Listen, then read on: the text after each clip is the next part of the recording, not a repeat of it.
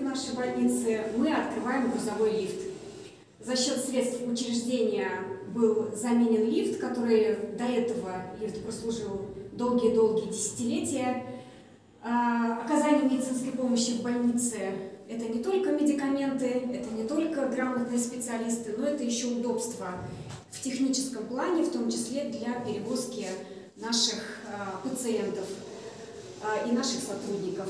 Спасибо техническому отделу, Светлана и всем вашим сотрудникам за то, что это свершилось, за то, что это произошло.